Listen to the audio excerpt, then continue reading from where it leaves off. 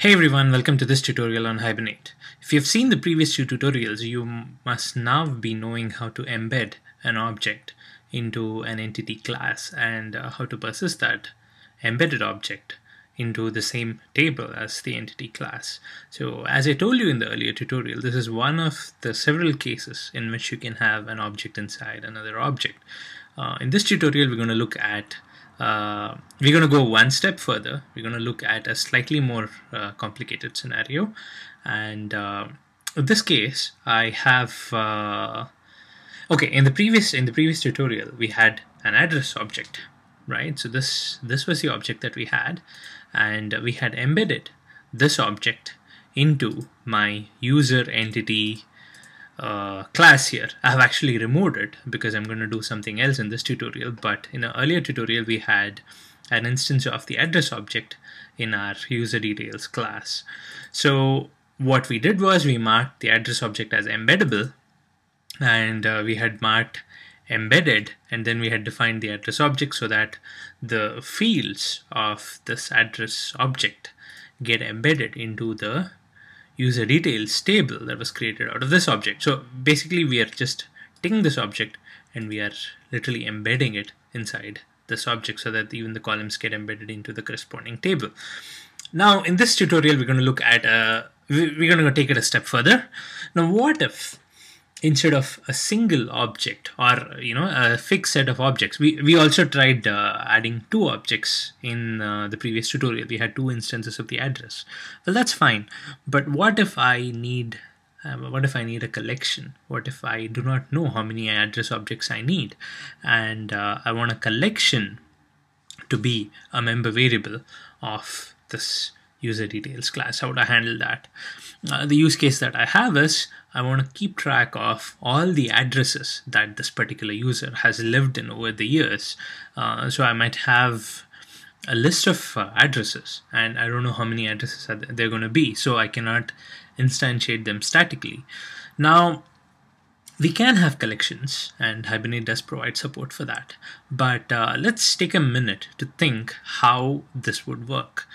Uh, if it's a fixed number of objects, well, it makes sense. We can have a fixed number of columns for those objects. Say, for example, uh, you know, in the previous tutorial, we had a home address and an office address. So we had separate columns for uh, the home address and separate columns for the office address in our table.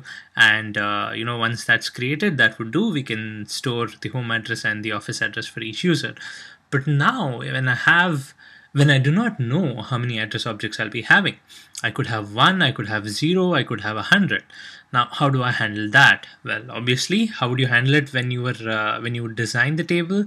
You would probably create a different table for uh, the address data, and uh, you would probably reference the user. Say, for example, I have user ID one, and I have uh, five addresses for that user then I would insert five records into a separate table called the address table.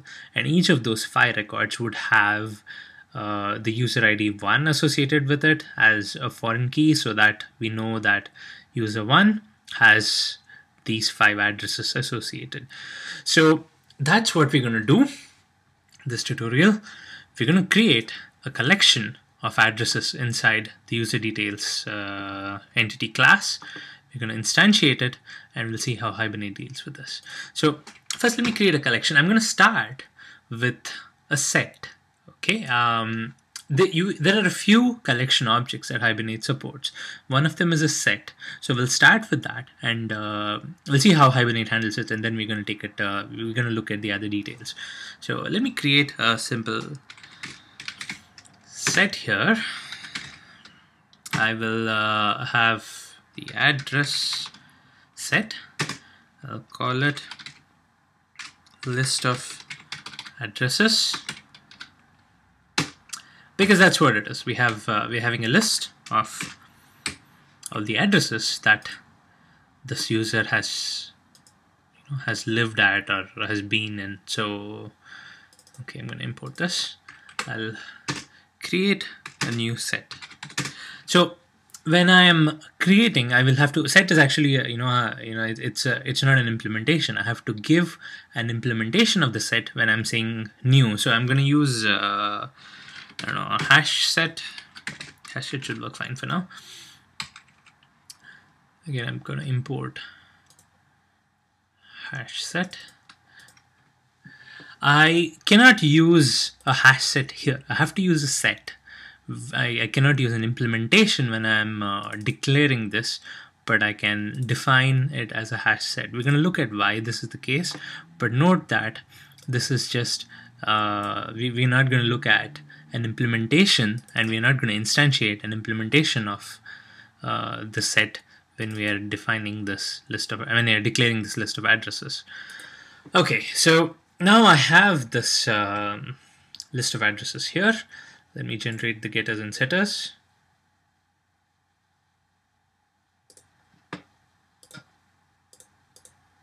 okay that's done save now all I have to do is uh, feed in those values in my Hibernate test and see what happens. So I have this first user, uh, no other details here. Um, now I just create a few addresses. Okay, I have these two address objects here. I spared you the pain of watching me type all this. So I have just initialized uh, a few values here and uh, I will be having a hash set that will store these two address objects now. So the hash set I have already defined over here. Uh, I've defined it as a new hash set. So all I need to do is I need to get the list of addresses and I need to add these two addresses. So I will say user dot get list of addresses dot add this takes address so I'll pass address 1 and of course address 2 as well.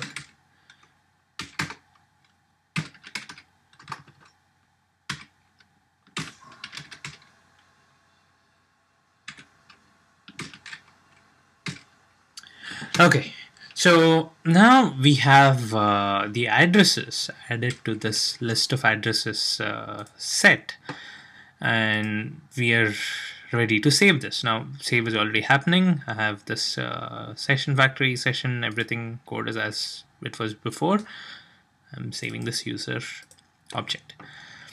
Now there is this annotation that I need to make for uh, Hibernate to know that this is actually to be treated as a list and I want this list to be saved. And uh, the annotation that needs to be used is at element collection. And of course I'll have to import this from javax.persistence again. Now add element collection is all I have to do to uh, mark this this entire uh, collection object to be persisted by hibernate. So I'll just save this. And anyway this is marked as an embeddable. So it knows that this is this is the address that's over here.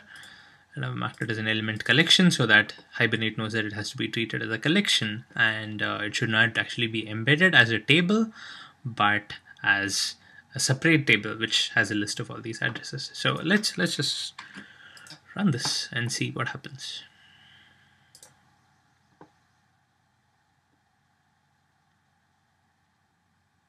Okay, now look at the insert statements. First, it's inserted the user data into the user details table. Now, the user details is what we have configured for this this entity class over here. It's inserted it fine, and it has inserted only the values username and user ID. Note here, it has not done anything about the the collection here. Okay, so that was the first insert. This next two inserts are into a table called user details underscore list of addresses. So what is this table name? It's uh, it's the name of this entity underscore name of this collection uh, in member variable. So it has auto generated this name in order to save all the members of this collection.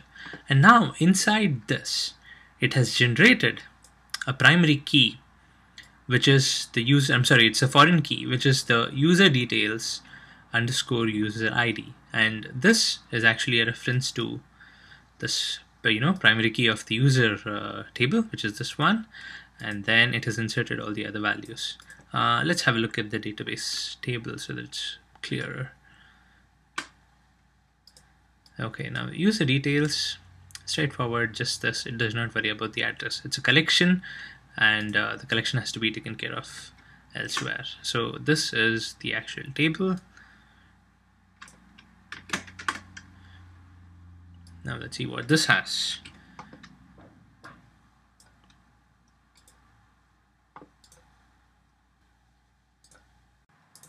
Hmm, this is odd. Uh, okay, I've made a mistake here. Um, this should be address 2. It's a copy paste error. Save and let's run this again.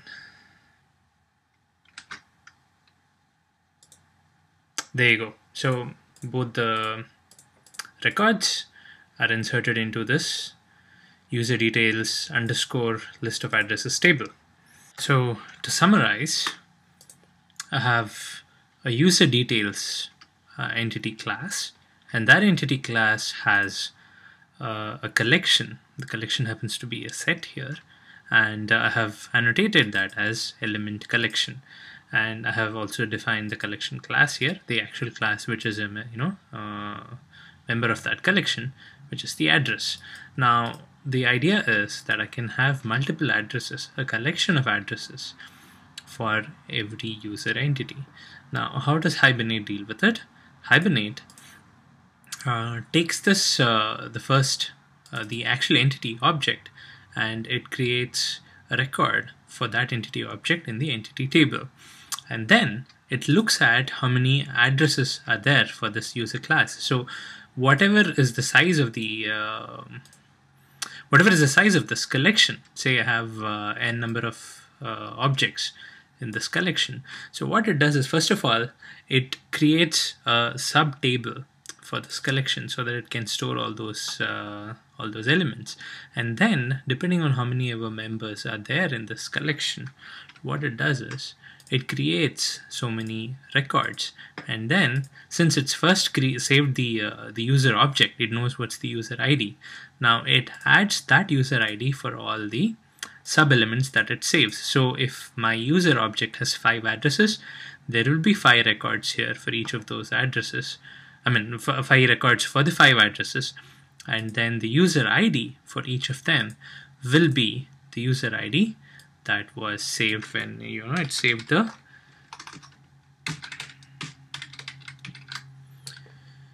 user details which is this ID so it saves this ID for all of those uh, all of those addresses. So that's how that's how Hibernate makes the link between all the addresses and the main entity. So this is uh, this is one of the ways in which Hibernate can save collections. So we're going to look at some of the implications of this collection in the next tutorial.